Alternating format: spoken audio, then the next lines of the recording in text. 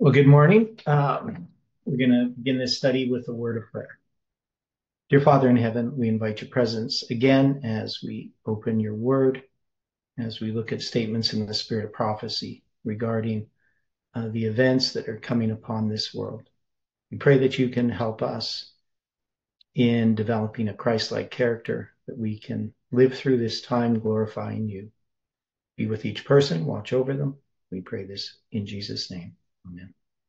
Okay, so you can see the title here. This is from the, the book booklet, The Crisis Ahead. This is chapter number nine, Satan's Personation of Christ. Now, this is the particular uh, chapter uh, that made probably well, there's two two different things that made a strong impression on me back in the early 80s when we studied this, or mid 80s, and that was um, regarding the condition of the church at the time that the Sunday law occurs and, and how the work would be accomplished not by man's machinery, but by the unction of the Holy Spirit, that uh, God would guide and organize his work in a way that it was evident that he took the work into his own hands. And then this here, dealing with Satan's personation of Christ, which I find that maybe some people could say it's just sort of an intellectual idea and it's maybe a moot point. It's not that important. Um, understanding that Satan's personation of Christ occurs after the close of probation. Now, Olson's going to take the position that it occurs prior to the close of probation. So he takes a different view, but he does mention the other view. And um, so we, we've spent time looking at uh, the fact that Satan, of course, uses miracles. There's true miracles, there's false miracles. And in the last days, Satan has this power uh, to do miracles of sort, uh, to deceive those that are following him, right? To give evidence. We know that there's going to be a counterfeit Christ, an antichrist. And within the Christian world, there's all kinds of different ideas. Generally, I would think evangelicals look at it as some kind of sec- secular antichrist, some kind of, you know, businessman or something. Uh, um, some some have it as a religious antichrist. They might see, you know, the Pope as the antichrist. Um, but uh, as Seventh Day Adventists, we under that, understand that Satan's going to personate Christ. Now, what's the difference between personate and impersonate? Anybody know? Well, I thought it meant the same thing. Yeah, it doesn't. Oh, well, that's new. yeah. Okay. So they are close in meaning, right? So personation rather than impersonation is prime is primarily is a primarily legal term. Now this is a modern, this is Wikipedia definition, uh, meaning to assume the identity of another person with intent to deceive. It is often used for a kind of voter fraud where the individual votes in an election whilst pretending to be a different elector. Now, as far as um, when we look at uh, Webster's the 1828 dictionary, so these are words that, of course, the words change meaning over time. Let me look this up here. I remember looking this up, well, probably about uh, you know, nearly 40 years ago. So last time I looked it up yeah, I had to stop the share for some reason. That was uh, okay. Uh, to counterfeit, to feign as a personated devotion, to resemble, uh, to make a representation as a picture, to describe, to celebrate. So I guess the difference between personate and impersonate, know, impersonate in Webster's it says to personify, which I'm not really sure what that means. So they're, they're, they are making them somewhat similar. But can you impersonate somebody without an intent to deceive? Well, you know, if if it's at a party, say, and you're kind of making fun of somebody, you imitate his or her gestures and statements and facial expressions and so forth. I mean, the folks there will know who you're trying to impersonate. Right. So, so, so, generally, yeah. So impersonate can just mean uh, to give an impression. You're impersonating somebody, but nobody's going to necessarily think that you're you're trying to deceive them. But personate has with it the intent to deceive. Right? Does that make oh, sense? I, I, I really thank that because I thought, okay, that was the 1840 version of impersonate. And all these years I've thought, Satan will impersonate Christ. Well, I can, I mean, I've seen demons, so I know they, they impersonate people. So yeah. that, that really didn't faze me much. So I never bothered seeing whether there was a difference in impersonate and impersonate. Yeah. Yeah. So this, so Satan will come as Christ, you know, claiming that he is Christ. So, I mean, we could, I guess, call that impersonation, but impersonation doesn't always imply deceit. Impersonation does. Um, and that's that's the term that's used. So anyway, I, I wanted to just clear that up because I know it's been a long time since I looked at it. So we got Satan's personation of Christ. What is Satan's masterpiece of deception? Who does he make himself out to be? The conflict is to wax fiercer and fiercer. Satan will take the field and personate Christ. He will misrepresent, misapply, and pervert everything he possibly can to deceive, if possible, the very elect. Uh, a power from beneath is working to bring about the last great scenes in the drama. Satan coming as Christ and working um, with all deceivableness of unrighteousness. And what's going on here? There we go um, in those that who are binding themselves together in secret societies. So one thing is we can see that there is a work that Satan's doing now, right? That is a work of deception, but the personation of Christ is a separate work. If men are so easily misled now, how will they stand when Satan shall personate Christ and work miracles? Who will be unmoved by his misrepresentations then? professing to be Christ when it is only Satan assuming the person of Christ and apparently working the works of Christ. What will hold God's people from giving their allegiance to false Christs? Go not after them. How close is Satan's resemblance to Christ? It was by the display of supernatural power in making the serpent it, um, his medium that Satan caused the fall of Adam and Eve in Eden. Before the close of time, he will work still greater wonders. So far as his power extends, he will perform actual miracles. But there is a limit beyond which Satan cannot go. And here he calls, and here he calls deception to his aid and counterfeits the work which he has not power actually to perform. In the last days, he will appear in such manner as to make men believe him to be Christ come the second time into the world and he will indeed transform himself into an angel of light. But while he will bear the appearance of Christ in every particular, so far as mere appearance goes, it will deceive none but those who, like Pharaoh, are seeking to resist the truth. So that means the righteous are not going to be deceived by this, right? Satan will work with all deceivableness of a righteousness to, to personate Jesus Christ. If it were possible, he would deceive the very elect. Is it possible to deceive the very elect? No. No, right. Now, if the counterfeit no, bears, that's uh, no, and that, that no, and that is one of the most oft misquoted scriptures that I've come across. That and the love of money is the root of all evil. Those two, because it's not the love; it's yeah, or sorry, yeah, money is. is the root of all evil yeah, and it's the love of money that is. And uh, if it were possible, and people forget that two letter word, if it were possible, yeah. and it's not, the elect will not be. Yeah. Now, if the counterfeit bears so close a resemblance to the genuine, genuine, is it not essential to be on our guard that no man deceive you? Satan is not permitted to counterfeit the manner of Christ's advent. What will Satan do and say, and how will the people respond? As the crowning act of the great dra- in the great drama of reception, Satan, reception, deception, Satan himself will personate Christ. The church has long professed to look for the Savior's advent as the consummation of her hopes. Now, the great deceiver will make it appear that Christ has come. In different parts of the earth, Satan will manifest himself among men as a majestic being of dazzling brightness resembling the description of the Son of God given by John in the Revelation, Revelation 1, verse 13 to 15. The glory that surrounds him is unsurpassed by anything that mortal eyes have yet beheld. The shout of triumph rings out upon the air. Christ has come, Christ has come. The people prostrate themselves in adoration before him while he lifts up his hands and pronounces a blessing upon them, as Christ blessed his disciples when he was upon the earth. His voice is soft and subdued, yet full of melody. In gentle, compassionate tones, he presents some of the same gracious heavenly truths which the Savior uttered.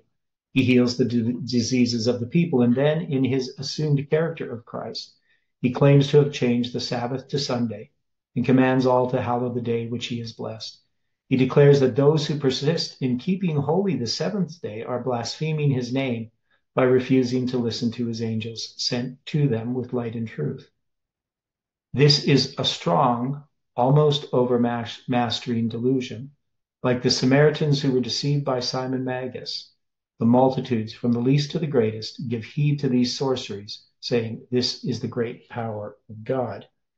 Now, um, this is taken from the Great Controversy, page uh, 624 and 625. And this is in the chapter called, uh, chapter 39, called The Time of Trouble. So this is describing events after the close of probation. Now, Kelly, of course, you remember Bev Famler. Now she she would take this and she picked up on the word now and she tried to say that this, yeah, now the great deceiver will make it appear that Christ has come in different, right? And she tries to, she tried to move that to before the close of probation. But in the context grammatically, it's talking about then, right? In the future. The now then is, is in the future, right? Now she, see, she connects that now with an earlier so it's um, in page 623 or 6 624 at the beginning. Now, while our great high priest is making atonement for us, we should seek to become perfect in Christ. So she connects that now. she says that there's a time shift and that, that this is then moving Satan's personation of Christ into the time when Christ is uh, making atonement for us in the most holy place right? Does that make sense? How how she does it. So this was my, my friend Bev Famler. But but I disagreed with her.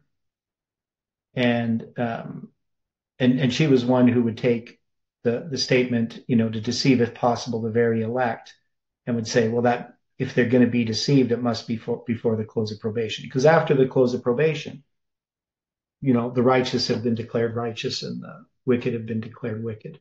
So we're going to look at this a little bit more in some of these other statements. At the second appearing of our Lord Jesus, as the second appearing, second appearing of our Lord Jesus Christ draws near, satanic agencies are moved from beneath. Satan will not only appear as a human being, but he will personate Jesus Christ. And the world that has rejected the King, or rejected the truth, pardon me, will receive him as the Lord of Lords and King of Kings. Will he even be accepted by heads of government? Disguised as an angel of light, he will walk the earth as a wonder worker. In beautiful language, he will present lofty sentiments. Good words will be spoken by him and good deeds performed. Christ will be personified, but on one point there will be a marked distinction. Satan will turn the people from the law of God. Notwithstanding this, so well will he counterfeit righteousness that if it were possible, he would deceive the very elect. Crowned heads, presidents, rulers in high places will bow to his false theories. And what shall we do when we are commanded to worship him? Satan came as an angel of light in the wilderness of temptation to deceive Christ. And he does not come to man in a hideous form, as he is sometimes represented, but as an angel of light. And he will come personating Jesus Christ, working mighty miracles and men will fall down and worship him as Jesus Christ. We shall be commanded to worship this being whom the world will glorify as Christ. What shall we do? Tell them that Christ um, has warned us against such a foe, who is man's worst enemy, yet who claims to be God, and that when Christ shall make his appearance, it will be with power and great glory, accompanied by 10,000 times 10,000 angels and thousands of thousands and that he, when he shall come, that when he shall come, we shall know his voice. To what pinnacle will the apostate churches eventually exalt Satan? In this age, Antichrist will appear as the true Christ. And then the law of God will be fully made void in the nations of our world. Rebellion against God's holy law will be fully ripe.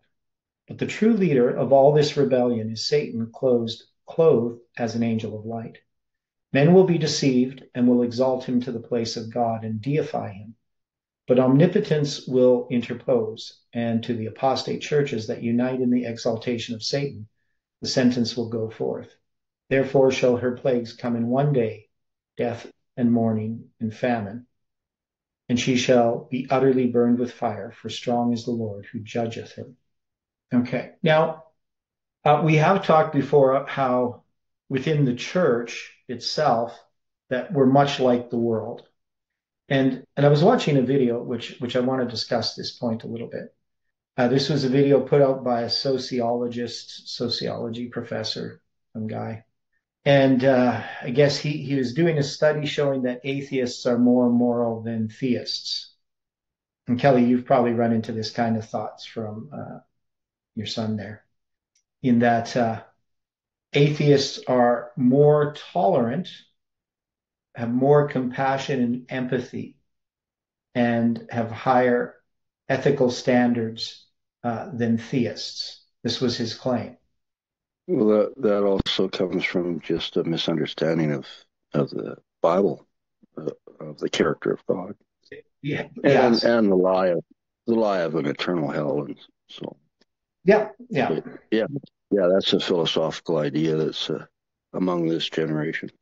Well, well one is it just, and it has to do also with the standard of righteousness that they decide to just to define morality. So, so he defines morality as compassion, empathy, and ethics.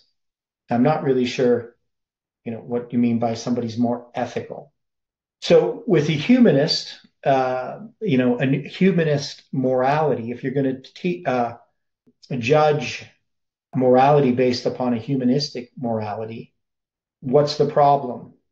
What's the problem with that? Are the Ten Commandments the standard then that he's de- deciding who's moral? No. Yeah, right. So, so we can easily set up a standard. I mean, uh, of morality. People do it all the time. They set up their own standard of morality. And then if, if your standard of morality is yourself, are you going to be able to meet up to it? Of course.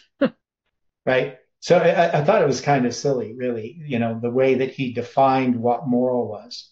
So if you if you believe that homosexuality is a sin, well, you're you're intolerant, right? So obviously you're, you're way less moral than an atheist who accepts homosexuality, right? So when we look at this idea of the world, of how they decide what is righteous, I mean, Satan personating Christ, he's going to be very accepting and loving and compassionate and tolerant and inclusive, right? He, yeah, he his sound like old friend. Yeah, he, he's going to be flattering to those that are worshiping him. So he will meet up to that standard of righteousness that that is a you know it's it's a standard of the world, right? I mean, the world does have a standard of righteousness, but it's something that they can perform. Like to be compassionate. What does it mean to be compassionate? I mean, how do you measure compassion? You can, but I mean, I feel compassion. Well, you know, I so what's okay? I do feel compassion for those who who who suffer, but unfortunately, as in my own life, a lot of the sufferings are brought on by our sins. Yeah, well, so the thing is, a person can. There's a different yeah. Okay, Kelly. For, for, yeah. For, first, the difference between compassion and empathy. So, with compassion, we can have compassion for others, and it doesn't drain our energy. Having yeah. empathy drains our energy because we take their feelings upon ourselves to, to yes, be empathetic. And I've done that and I have to guard against it all the time. Yeah. Well, well this this and that's where the difference. Just just let me finish. Uh, that's where the yeah. difference is with compassion and empathy. So em- empathy, we have no boundaries. We just we just become like the second person to them, taking on all their sorrows and pain. And in a sense, Christ is like that, but I don't know even. So compassion has has what we call uh, boundaries. We we can have compassion for another person to a point only where we don't have the capacity ourselves to to help or like it it becomes an unhealthy thing empathy can become unhealthy where it's taking our own life. Now in the christian model i don't know some thoughts on that theodore. And and then then you're talking about uh what was it? Oh comparing our so the scripture that i just posted there in the chat that that's that's the one that came to mind when you were talking about uh, making ourselves the standard if you want to read mm-hmm. that one for us. Yeah okay so yeah. Um, 2 Corinthians 10 12. For we dare not make ourselves of the number or compare ourselves with some that commend themselves, but measuring themselves by themselves and comparing themselves among themselves are not wise. Yeah. So, yeah, so it's, it's kind of, well, foolishness. So this guy, Professor Phil Zuckerman, he says he explores why non-religious individuals often exhibit more compassion, empathy, and ethical behavior than their religious counterparts. Using research and data, he challenges the myth that morality requires belief in God and highlights how secular val- values can lead to a more just and humane world. Right? So so he's written a number of books including Society Without God, Beyond Doubt, what it means to be moral and living the secular life.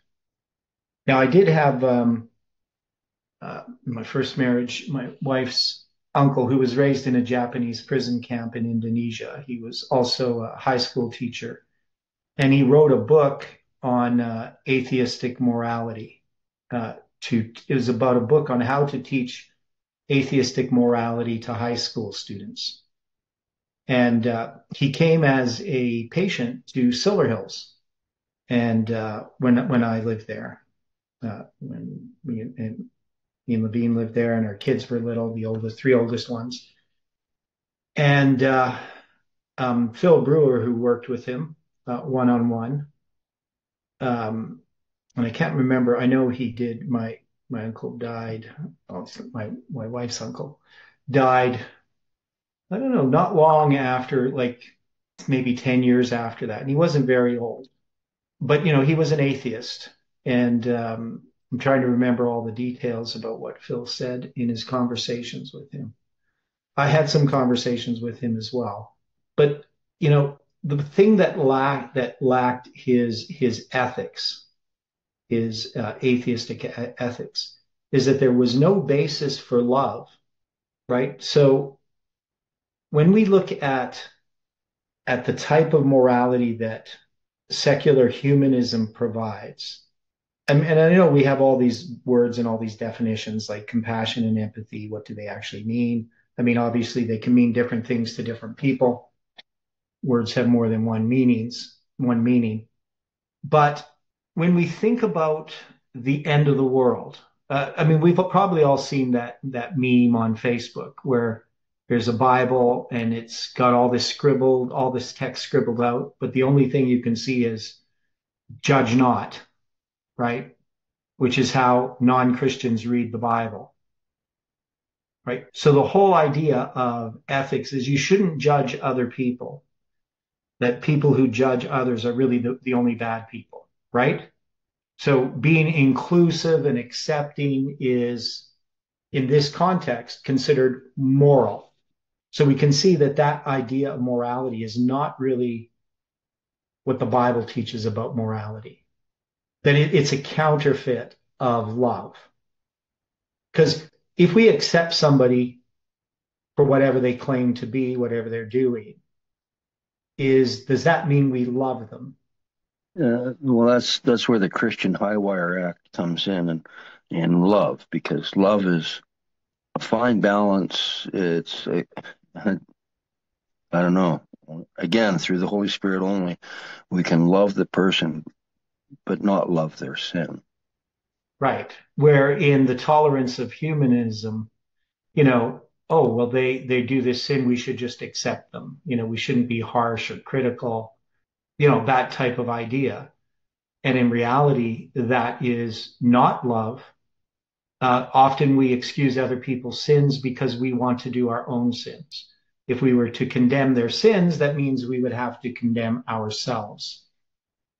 So right? true. Now, let me say, now, now let me say, you know, since you use the example of homosexuality, in my business, uh, uh, I worked with Calgary's top interior designers, and many of them were homosexual. I don't know why they're so successful at it, but they were also. I only met one, uh, like 99% of them. Only one was like an angry, resentful person, and the mm-hmm. group of friends he hung out with, and and that was them as persons. But as persons, they are some of the kindest, most generous, loving people that I've I've met. So again, I, I did I worked with them for years and and some of them I'm friends with to this day, you know. and I would still consider them friends even to this day. And the thing is, is can I can I be um, accepting of them, but not they knew where I stood, mm-hmm. but I didn't make a point of it. I, I just loved them. I I was their friend. So right. yeah, with can and and we think of judgment with this word judgment. There's such a misunderstanding. Like we have to use our judgment, discernment, um, but we don't judge in the terms of condemnation with judgment. That, that people think mm-hmm. if we're judging, we're condemning someone. No, no, no. We're just using our discernment. Yeah, I mean, uh, you know, I mean, obviously, I can use. Uh my daughter, who is now a man. Obviously, I love her and care for her, but I would never condone her actions. That is, I'm not going to support her in her decision.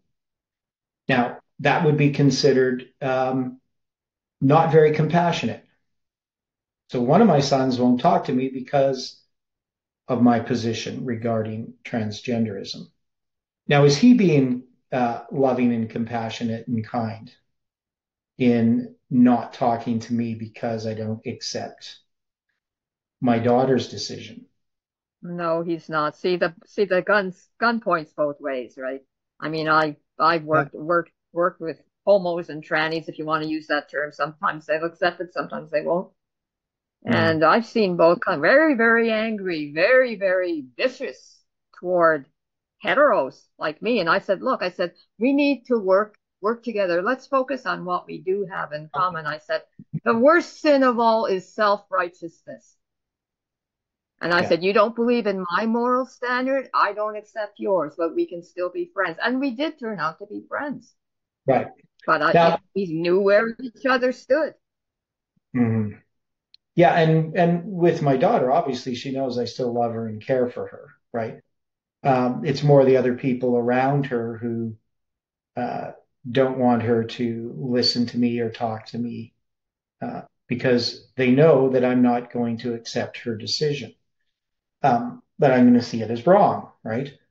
Um, so I would be considered intolerant in this in this world's standard, right? I mean, I'm not going to call her, uh, you know, change her pronoun. I'm not going to call her by the name that she uses.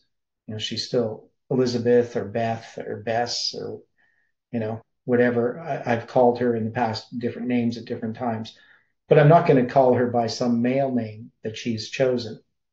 And she accepts that, you know, herself. It's the other people around her who don't accept it.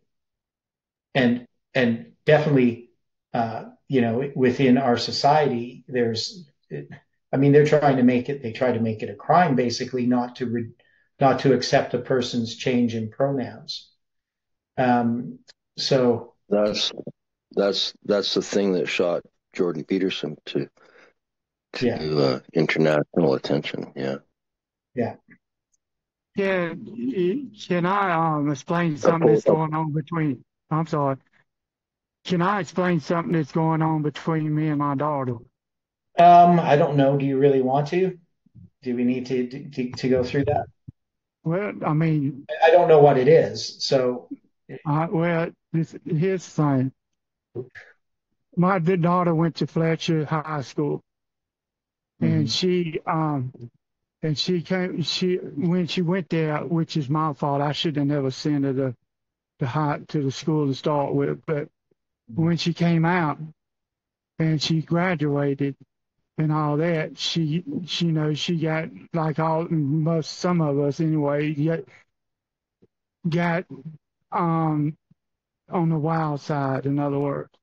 So so now she's slowly coming slowly coming back to Jesus, but Mhm. she uh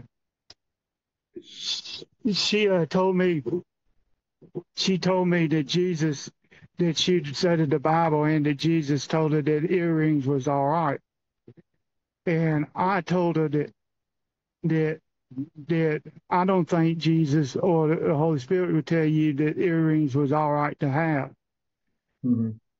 and that and she's gotten tattoos, you know, and I told her I I kind of got upset about it because I didn't want her having tattoos over, all over her body, but Mhm. And I and she said, well, I I didn't see nothing wrong in the Bible where it said, and I said, well, and she said the Holy Spirit said that you know she read the Bible and studied it, and she said that she thought it did. And I told her, I said, well, I don't think the Holy Spirit would tell you that it's all right the mark of your body. Okay. Which, Well, well, let's just kind of condense this here a little bit. So, so people have behaviors, whether whatever it is, of things that they want. And so, in the case of your daughter there, I mean, she wants to wear jewelry, she wants to have tattoos, right? And we see this within the church. So, right, the standards have changed from the past. Um, I mean, there are things in our baptismal vows that, uh, you know, nobody pays attention to anymore, even though they still have them in the vows, right? right, There used to be a more marked distinction between the standards of the church, of Christians in general, and that of the world. You know, there was a time Christians did not, uh, you know, go to the theater or go to, uh, you know, places where people were drinking alcohol and so forth, right? Um, but that's changed, right? So Christians do all kinds of things that they never did in the past. Now, when somebody says, well, the Holy Spirit showed them this, obviously, we would be the intolerant ones uh, regarding those types of issues. right, And obviously, how we deal with these types of issues uh, is sometimes a problem as well, right? So um, maybe we don't deal with it in the best way possible. But the point here that we're Well, trying to the make, reason I brought it up is I want to know if it's something that I'm doing that's wrong. Did I? yeah, that's what I'm addressing here. That's what I'm addressing. So what we need to recognize is that we can accept the person, that we can't correct everyone. Now, of course, you know, if it's a 10 year old daughter, it's a lot different than a, a 20 year old daughter, right? Right. You know, Well, she's 30 something years old, yeah. Uh, but you know what I'm saying? It's just like, Yeah. you know, somebody who's on their own, like, I, I'm not going to try to correct my children in everything that they're doing wrong. Because one is I taught them from the beginning, they already know what I think, you know, so me telling them again isn't going to really help them too much. But I, I'm definitely going to live my life in a way that's consistent with what I believe. Because if they see me being consistent, that's that's a stronger testimony than any of my words of, you know, correction, right? Right. So, so I, I'm not telling you whether what you did is right or wrong, but I'm saying that it it definitely isn't necessarily going to work, as you found out, right? Yeah. Okay. Yeah, but so anyway, all right. I just, Yeah. I'm just trying to figure out things. Yeah. So, so we know that we need to be able to ref- reflect Christ's character and how we deal with others. Now, the counterfeit is the world will be accepting of sins as if they are okay, right? So they're going to be way more tolerant than than a Christian is going to be regarding all kinds of things. So obviously, from their standard, they're more moral, right? But if you look at what love is, love sometimes has to give a warning, has to give a rebuke. If if I'm just accepting of everything my children do and, and never correct them and, and tell them that it's all good, whatever they choose to do is good, um, that's not really love. So love is love is love covers a multitude of sins. Love love changes people. Compassion and empathy are not the same as love. And, and of course, it depends how you define empathy. People can define it lots of different ways. It can just be more a feeling um, about how we we feel with someone. That's generally what it's thought of as. Okay, when does uh, the outpouring of the wrath of God, the seven last plagues, occur in relationship to Satan's personation of Christ? So this is that main point. That's why I kind of wanted to rush through that because I want to get through this point. Little by little, he has prepared the way for his masterpiece of deception in the development of spiritualism. He has not yet reached the full accomplishment of his designs, but it will be reached in the last remnant of time. Says the prophet, I saw three unclean spirits like frogs. They are the spirits of devils working miracles, which go forth unto the kings of the earth and of the whole world to gather them to the battle of that great day of God Almighty. Revelation 16, verse 13 and 14. Except those who are kept by the power of God through faith in his word. The whole world will be swept into the ranks of this delusion. The people are fast being lulled to a fatal security uh, to be awakened only by the outpouring of the wrath of God. So we know that this is the sixth plague, right? The three unclean spirits like frogs coming out of the mouth of the dragon, the beast, and the false prophet. And uh, then we have uh, this other statement here from early writings. After putting Jesus in the background, they attract the attention of the world to themselves and to their miracles and lying wonders, which they declare far exceed the works of Christ. Thus the world is taken in the snare and lulled to a feeling of security, not to find out their awful deception until the seven last plagues shall be poured out. Uh, but the people of God will not be misled. The teachings of this false Christ are not in accordance with the scriptures. His blessing is pronounced upon the worshippers of the beast and his image, and the very class of whom, upon whom the Bible declares that God's unmingled wrath shall be poured out. So he's going to address this uh, a little bit more. Uh, how long will Satan remain on the earth in his Christ-like form?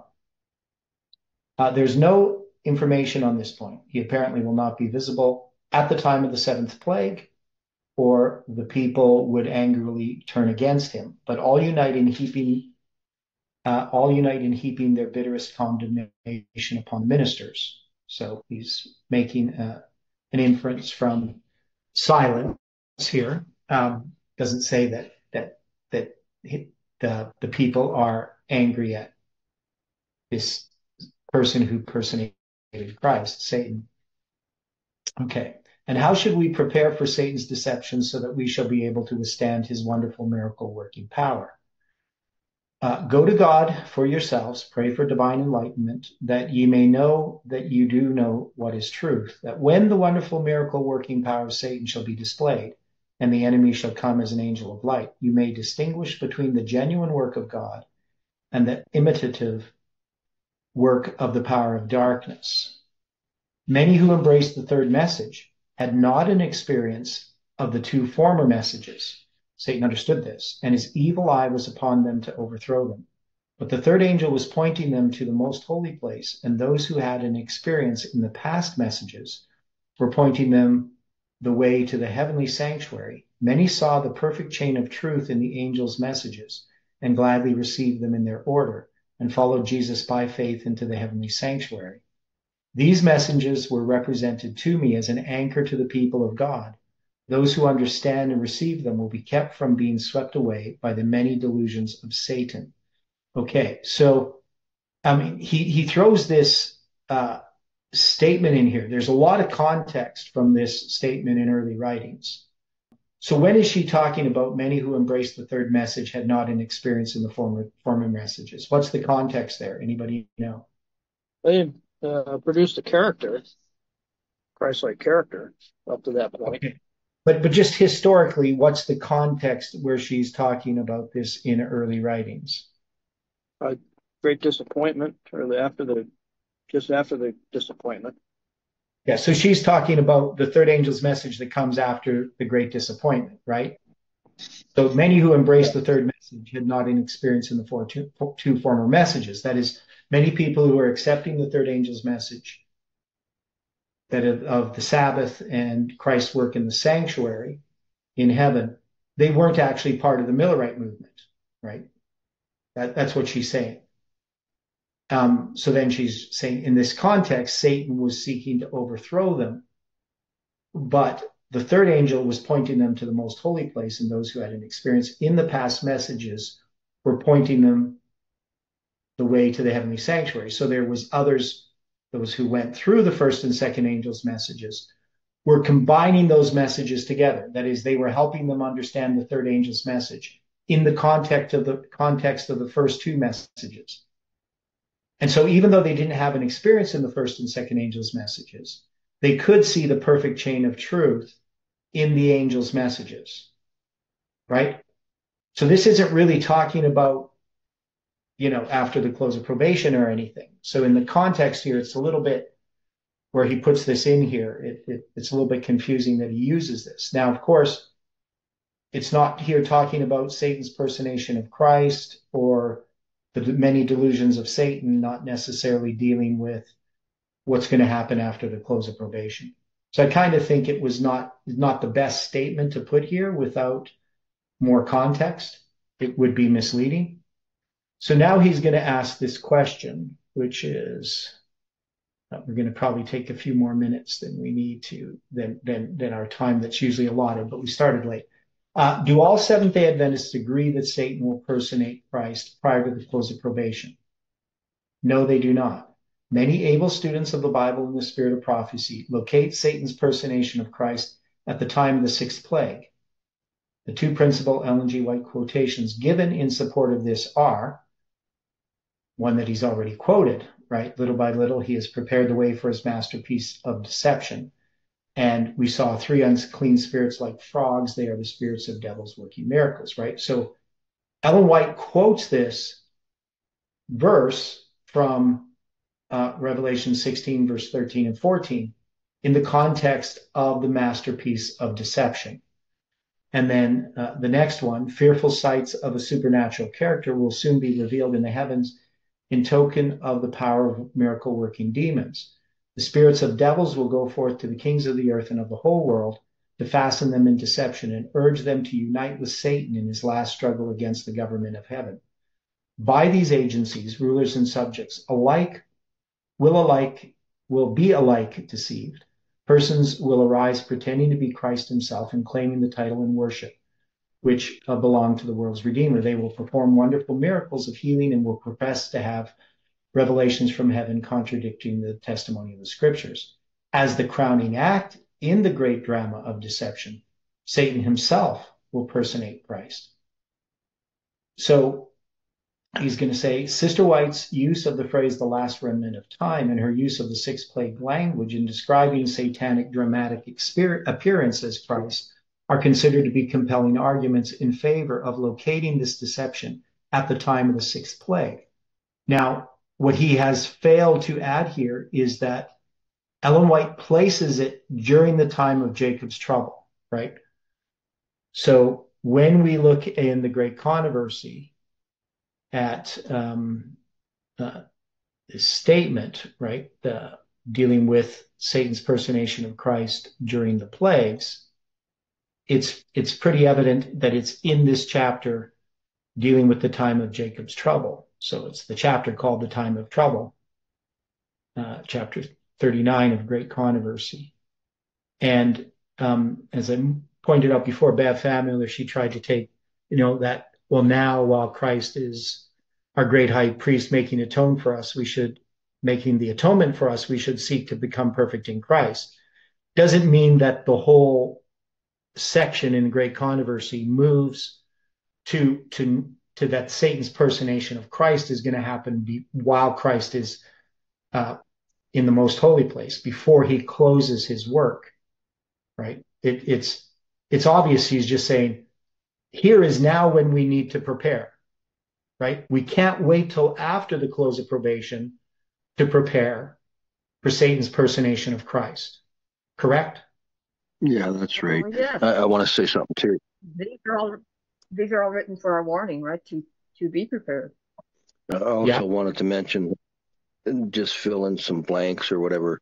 Bev Fanmuller. Now, when I came into the church, she was teaching Sabbath school and so on. She was she was a matriarch in the church, so she was our elder. She was like our the matriarch. She was the, she was the old lady in the church, and She was she 65. probably, probably wasn't that old.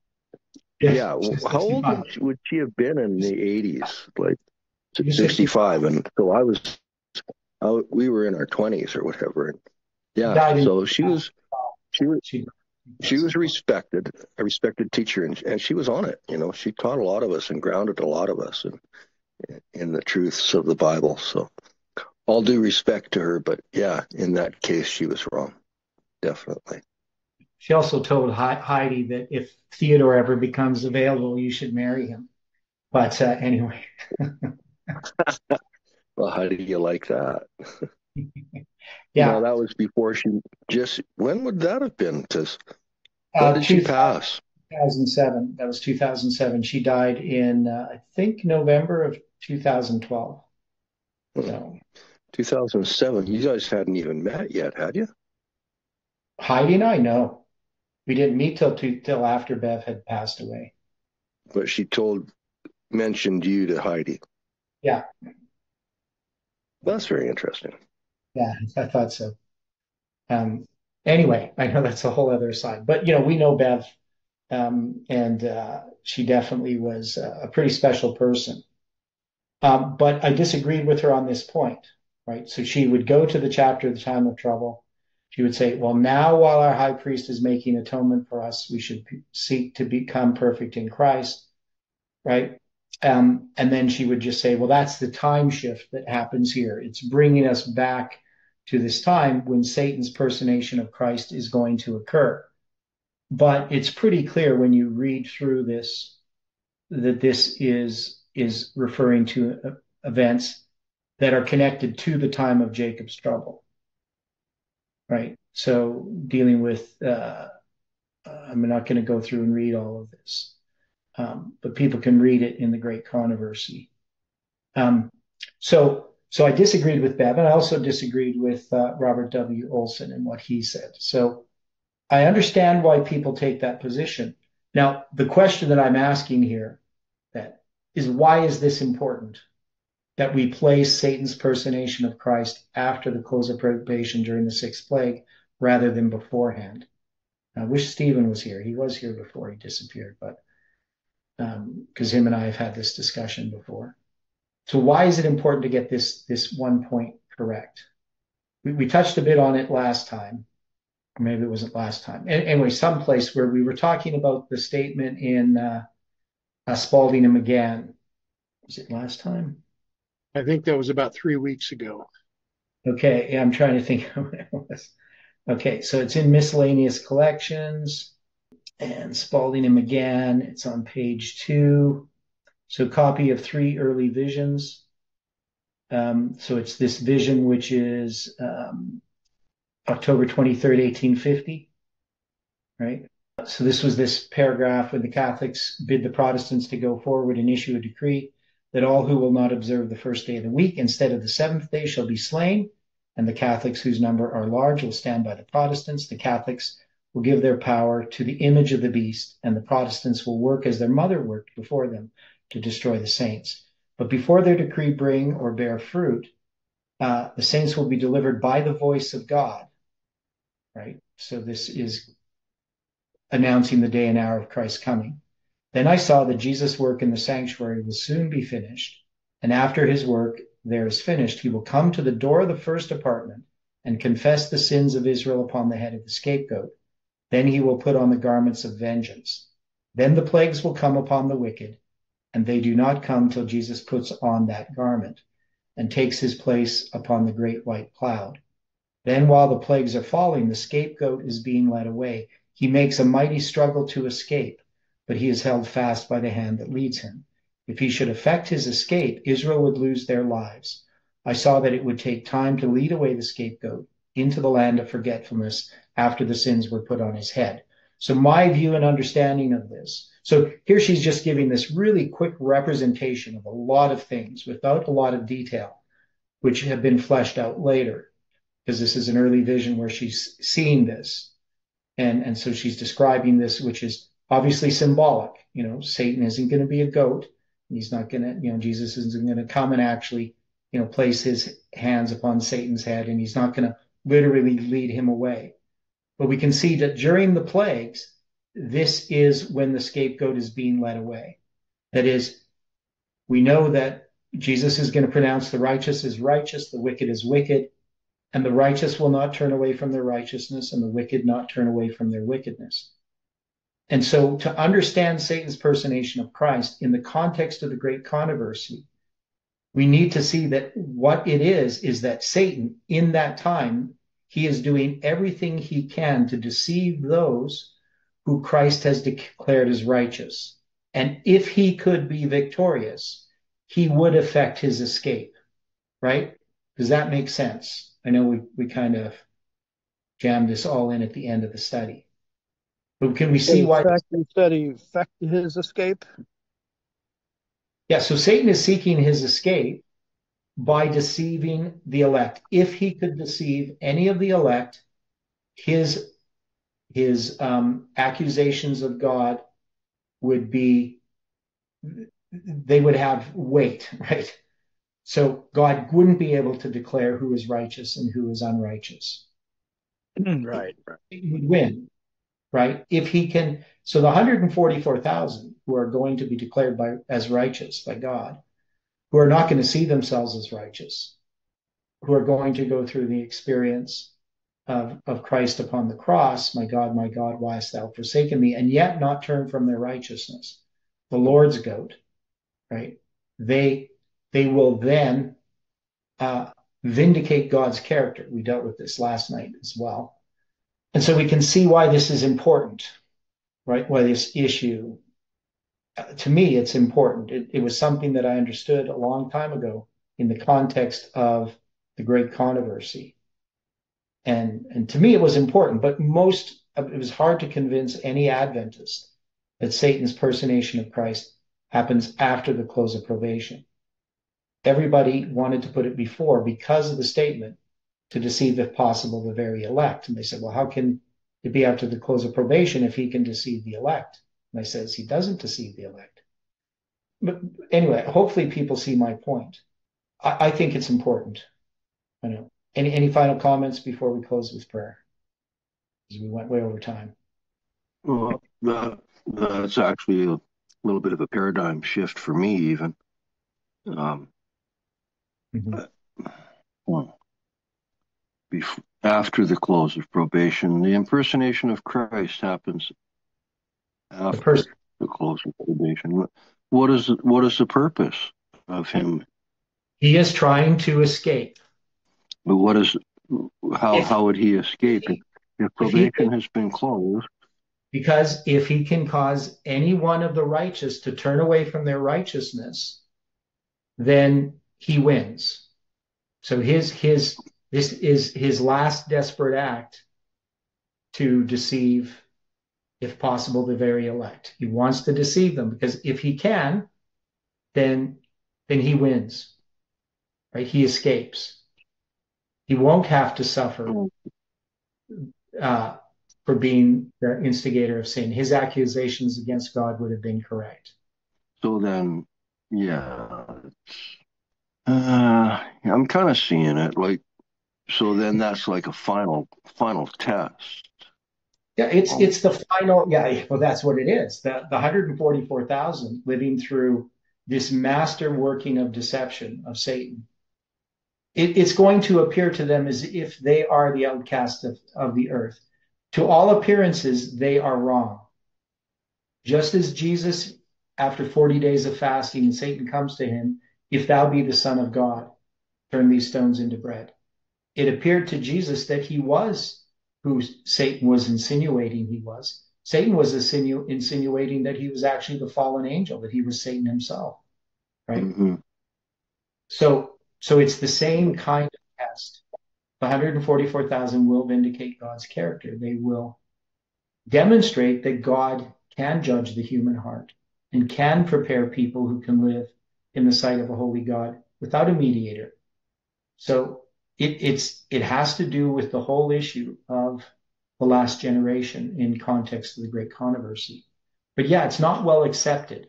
It's not well understood. It's something that for Adventists has been really, as you can say, Kelly, you've been Adventist a long time. It's obscured, right?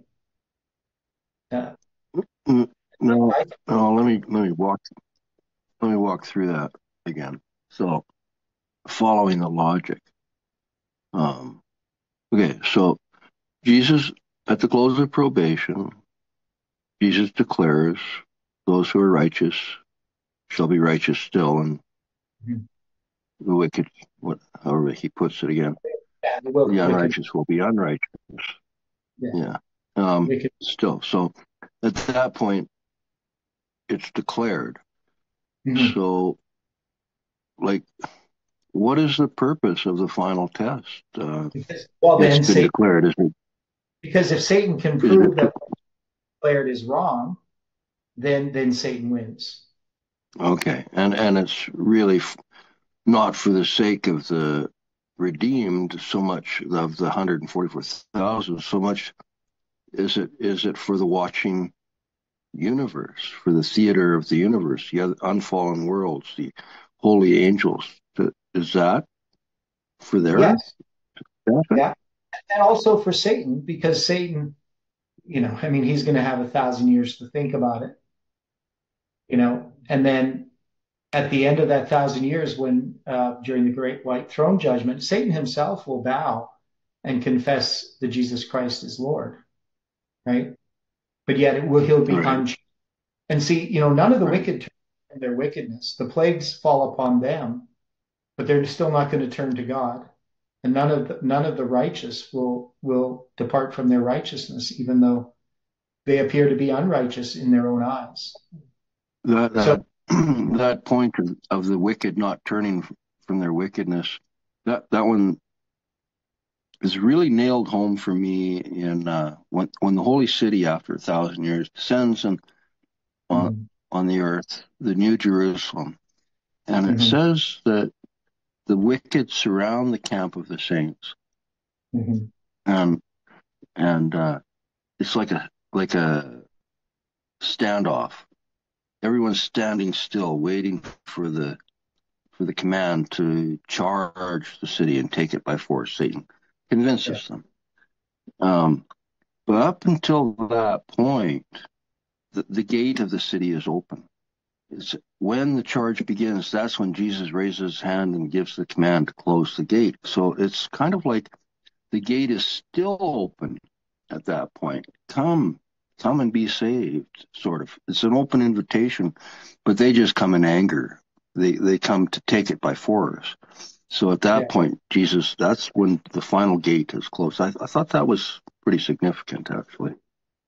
Yeah, because none are going to change.